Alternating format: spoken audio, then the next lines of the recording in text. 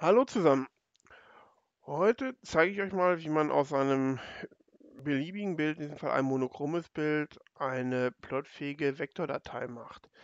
Wir importieren erstmal das Bild, äh, das nehmen wir, ähm, und wählen dann die, Datei, die, die Funktion in Bitmap nachzeichnen aus. Hier sieht man, ich benutze äh, Helligkeit ausschalten mit diesem Schwellwert 0,45. Wenn man etwas runtergeht, stellt man fest, dass man Details verliert. Das heißt, die Kanten werden schwammiger. Äh, in die andere Richtung wird es irgendwann deutlich dunkler und ich verliere Details, beziehungsweise es wird irgendwann komplett schwarz. Hier bei dem wirklich schwarz-weißen Bild ist es relativ egal, was man nimmt. Wenn man jetzt mit Grautönen arbeitet oder mit womöglich mit Farben, das werde ich in einem der folgenden Tutorials noch einmal zeigen, äh, sieht es etwas anders aus. Ähm, wir gehen jetzt hier einfach mal auf 0,45 wieder.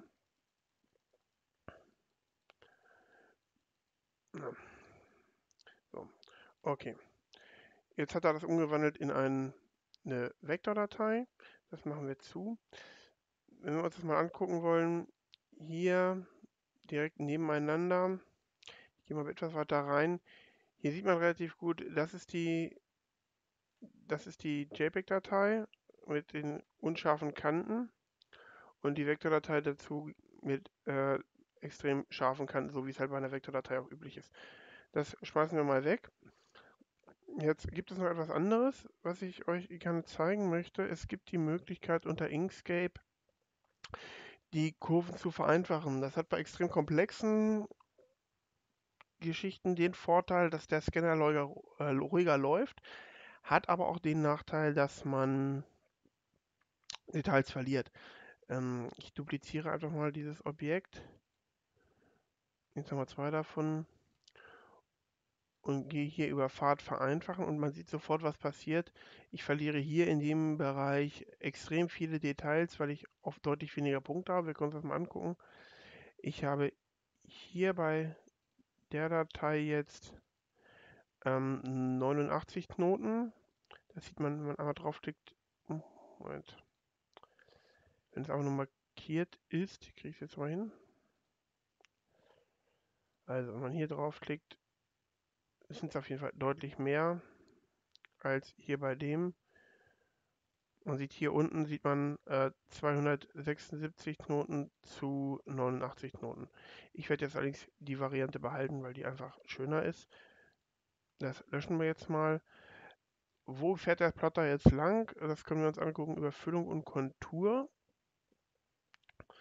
Objekt markieren, dann nehmen wir mal die Füllung weg und setzen für eine Farbe für die Kontur.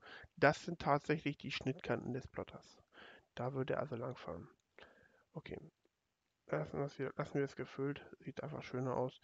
Datei, jetzt kommt das, was ich schon im anderen Tutorial erklärt habe, speichern unter, wir wählen hier die DXF-Datei aus, wählen die Datei aus, unter der wir speichern wollen und ganz wichtig, setzen hier den Haken bei RoboMaster-Ausgabe so, ja, kann er überschreiben. Das wäre jetzt die Datei, die man ähm, entweder im Silhouette Studio direkt importieren kann oder alternativ kann man auch unter dem äh, Inkscape direkt plotten. Wie das funktioniert, wird auch ein Thema in einem der folgenden Tutorials.